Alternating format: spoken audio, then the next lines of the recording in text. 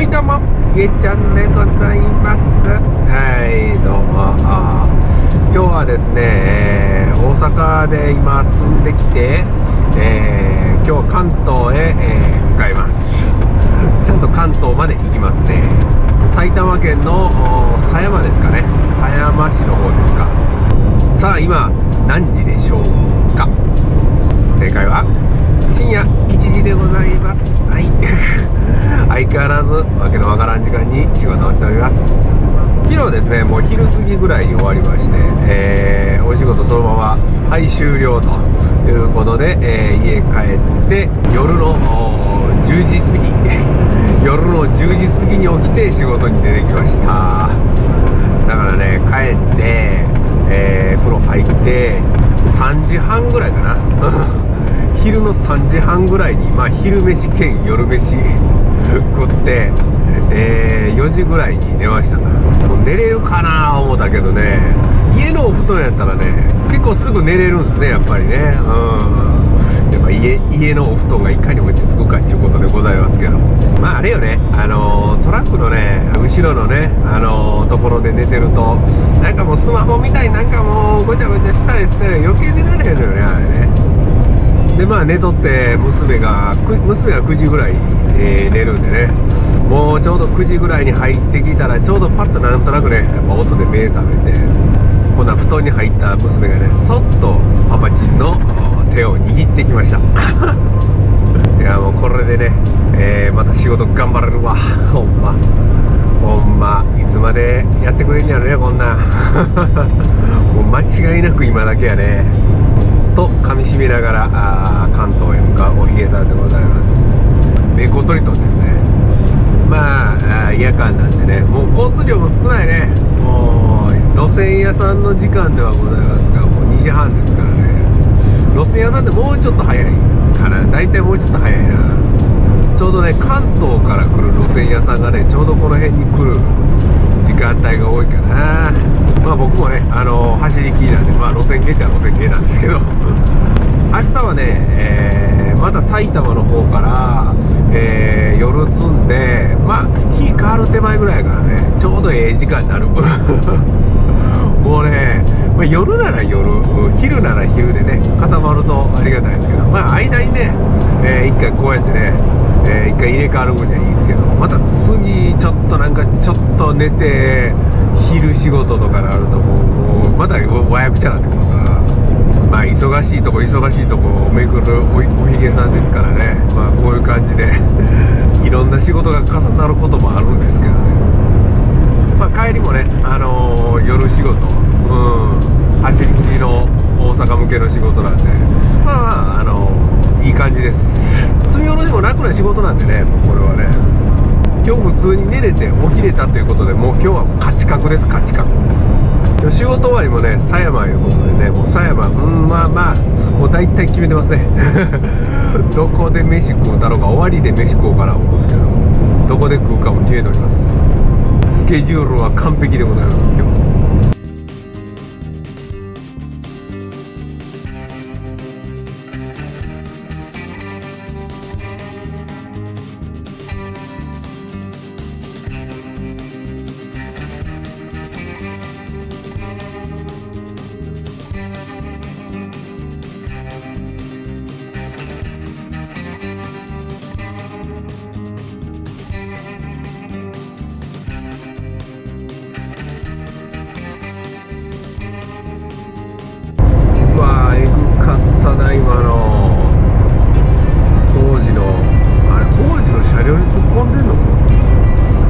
パッとね見えたあれやんだけど。いやもうだからねもう工事してんねんけど。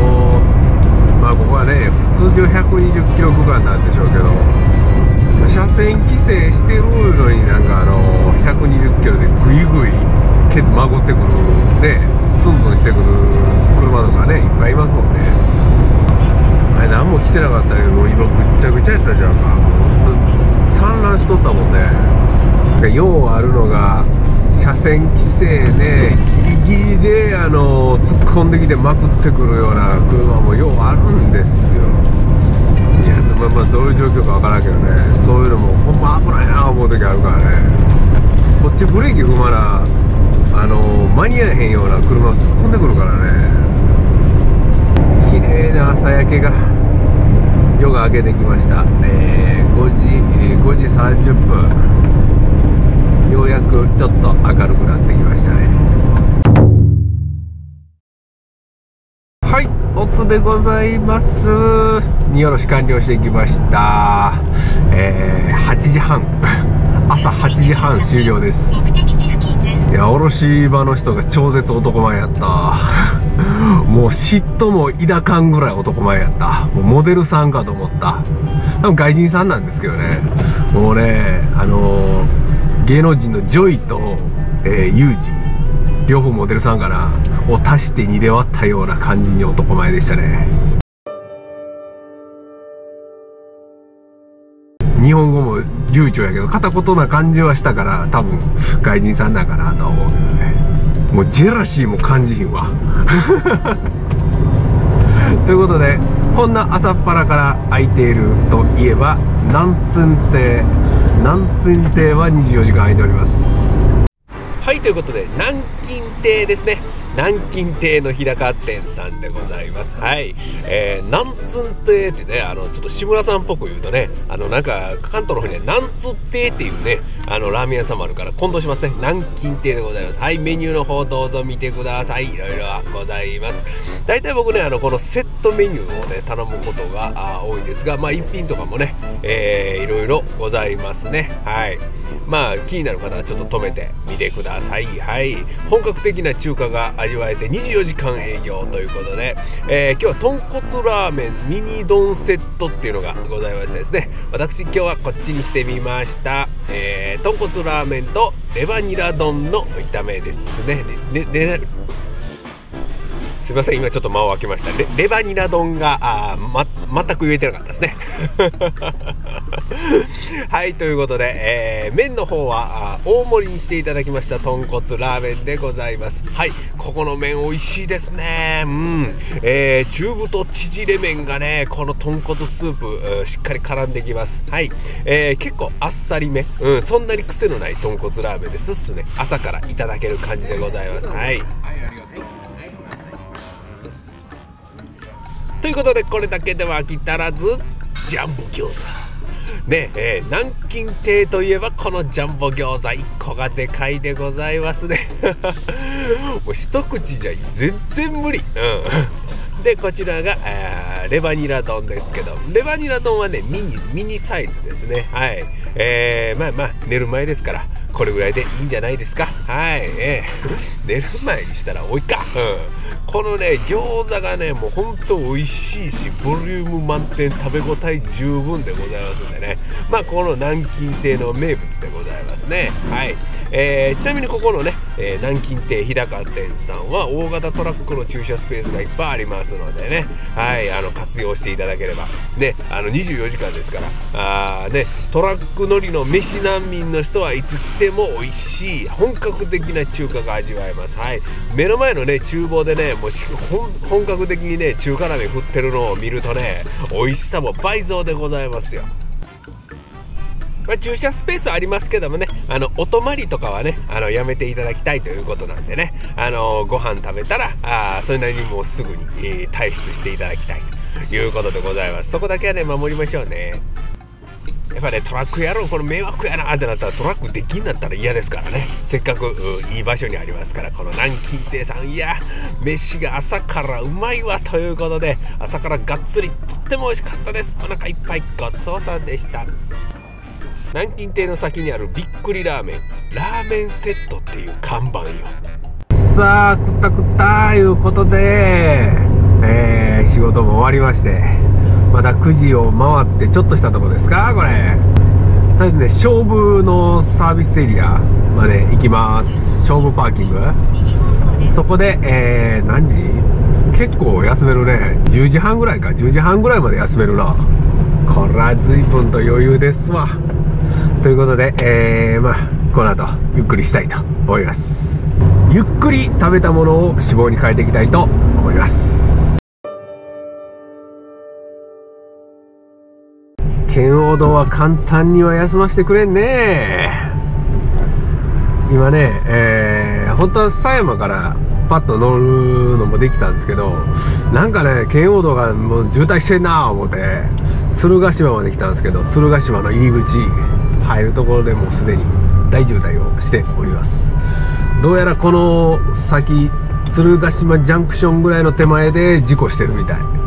だからもう後方までずっと渋滞が青梅の方までずっと渋滞伸びとったから圏央道はなんかあるね。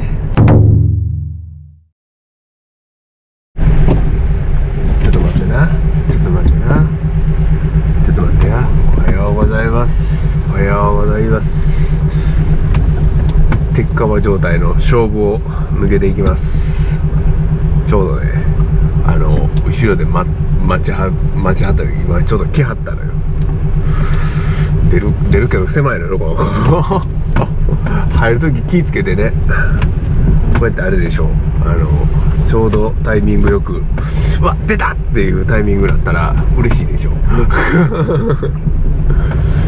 いやもう鉄火状態ですよやっぱね。夜10時40分の勝負パーキングを出発します。よいしょ夜仕事向かいましょう。ようよう休憩しましたね。もう12時間以上休憩しとったから余裕でございます。はい、えー、帰りはね、えー、深夜便で、えー、久喜の方へ。積みに行きます今から。よいしょ。おポールが倒れとるよこれ。ポール空うわ。ギリギリやもんこれ。ポールもなぎ倒すよこれほんと。もうこれみんなねもうしゃあないもん。こんなもう行き場ないんやから。行き場があったら行きますよ。こんな斜めになったとこでネタないわ。ほんまに。高速道です。空車です。はいおつでございます。0時20分かな。えー、積み地を出発してきました。あ全然汗かけへんわ。寒いしねもう。あでも今日日中夕方暑かったね。うんたまに25度ぐらい。なんか外気的にね。うん。超えるから暑いなあ思ったけど。夜は。寒いわまた。ということで、えー、また夜通しね、えー、高速をひたすら走っていきます。まあなんとかギリギリ引っ張ってワンストップで、えー、大阪向け、えそのまま走り切って下ろして今日はとりあえず終わり。はいちょっと明るくなってきました。えー、5時40分。5時40分でもこんなもんか。ということで名工トリトンでございます。はい。まあ取るところってこのぐらいしかないのよね。道中取ってもねどこ走ってるかわからんもんね。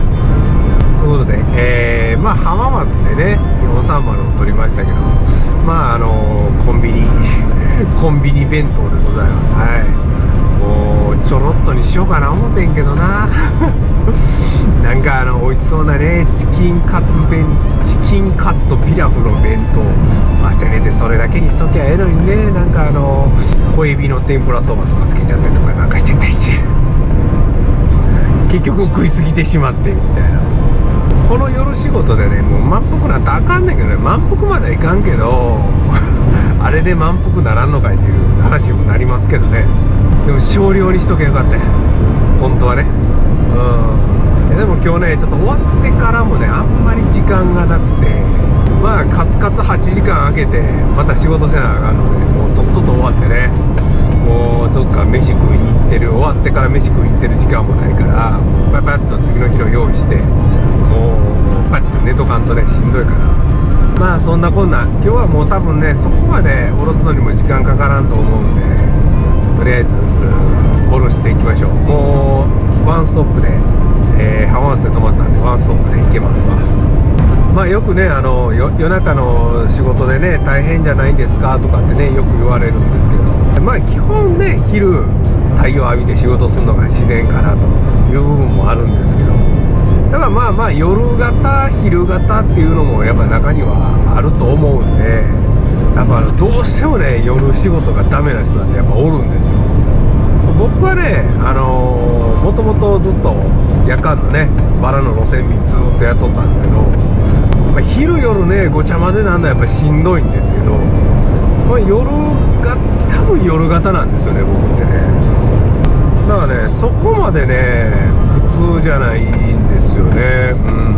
まあこれはねもうやってみやんことには分からんすけどだから夜仕事でねあれしてるけど定期でずっと夜仕事してるけど、うん、やっぱ合わんないう人もねあの中にはおるやろそうしたらもうぜひ昼昼仕事にね変わられた方がええやろし。なんかやっぱ昼眠なんねんないう人もね意外にじゃあ夜仕事の方が向いてる人なんていてるし。夜仕事の方がねやっぱ深夜料金とかが入ってきたりとかまあ結構ね割は良かったりするんですよ。だから深夜向きの人はねあの全然深夜あえて行ってもいいんじゃないかなと僕は思うんですけどね。うん。はいおつでございました。8時過ぎですね、えー、荷下ろし完了して。まあすぐつけてすぐ下ろして終了でございます。さあとりあえずとっとと会社へ帰ります。また明日もね、えー、仕事でございます。明日言うてもね休息後すぐ仕事ですから。さあ明日はどこ行くかな？うん次回のお楽しみということで最後までご視聴ありがとうございました。ではまた次の動画でお会いしましょう。バイナウあー眠た全国の女子高校生の皆様お待たせいたしました。天才ぼやき様の登場でございますわよ。ぼやきからの最後のお願い。高評価ボタン、チャンネル登録、絶対お願いいたしますわよ。